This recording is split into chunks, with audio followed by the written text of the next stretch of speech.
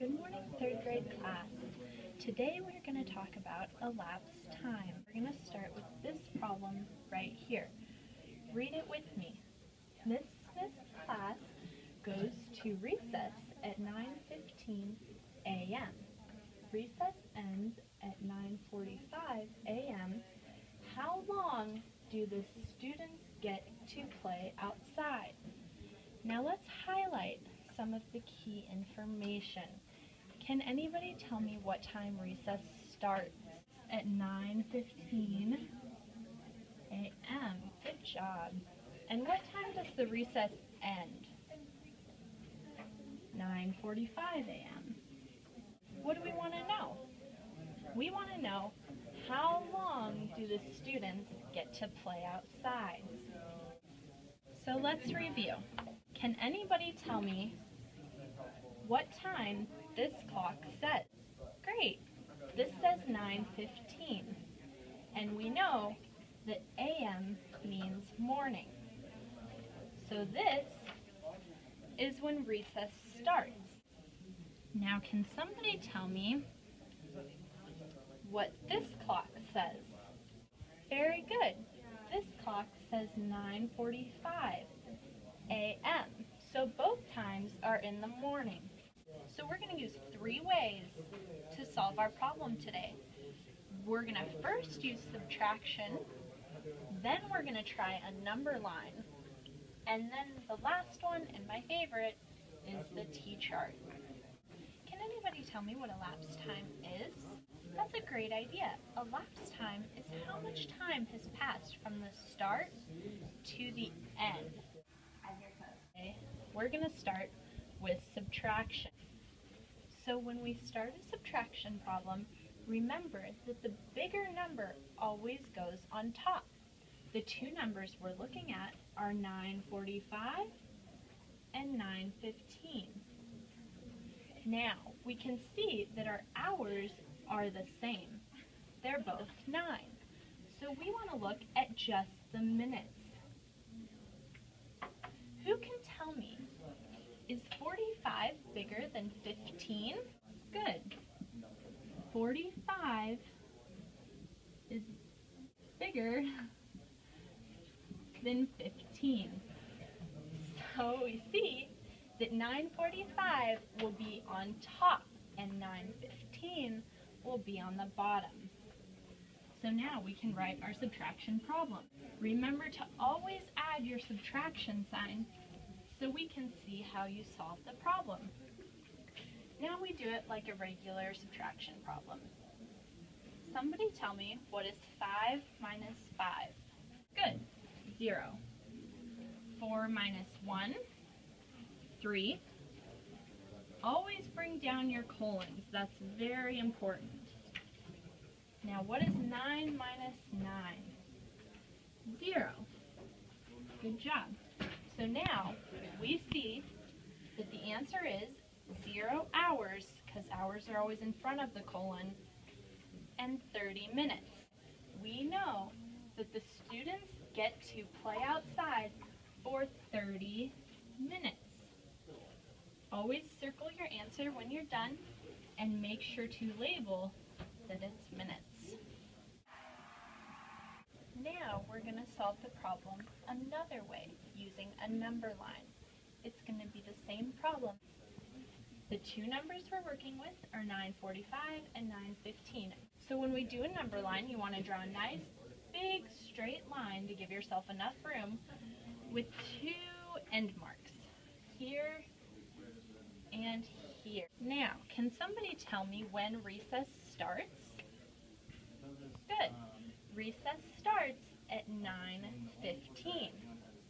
Which end do you think we put 9.15 at? The left or the right? Good. We always start on the left, just like how you read a sentence.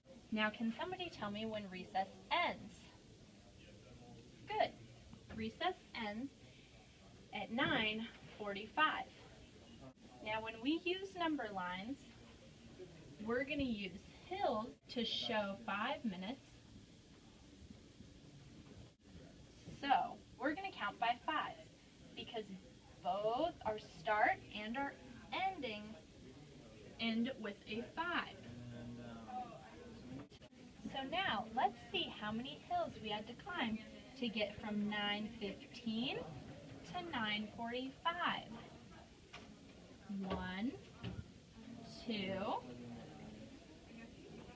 three, four, five, six. Now remember, each hill is five minutes. Write a five on each hill.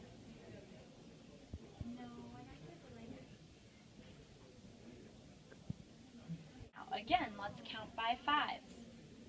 5, 10, 15, 20, 25, 30. So again, we see that from 9.15 a.m. to 9.45 a.m. is 30, what should my label be? 30 minutes, good. Always circle your answer. Now we're going to try a third way to solve this problem. This is our final way. We're going to do a T-chart. So remember, time starts with T. Draw a big T so you have enough room. On the left-hand side, we're going to label it add. On the right-hand side, we're going to label it new time. So who can tell me again what time we start with? That's right, 9.15. Always write your starting time the very first on your new time. Now, this is our starting, so we didn't add anything to get there. Can somebody tell me what our end time was? Our end time is 9.45. So we want to go from 9.15 So let's count by tens this time. Can somebody tell me what comes after 15 if you're counting by tens? Good, 925.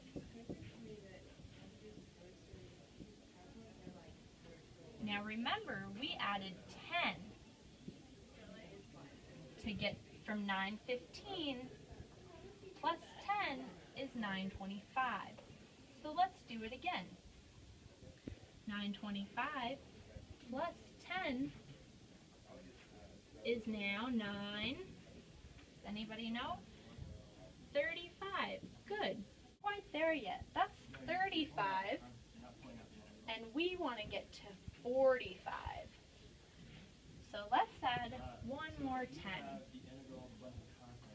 935 plus 10 gives us 945 a.m.